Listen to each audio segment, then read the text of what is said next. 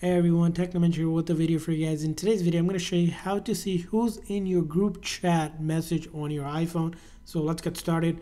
So if you have a group chat message open, we're going to want to go ahead into your messages app and find that group chat. In our case, this is the group chat here. It might list your, their name and number as well. And you can go ahead and click on it.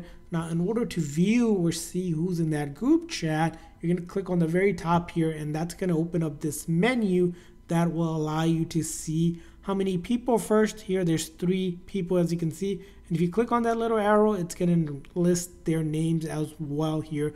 Now if you see a number instead of a name that means that a person is not in your contact. That's why it's listed only as their number.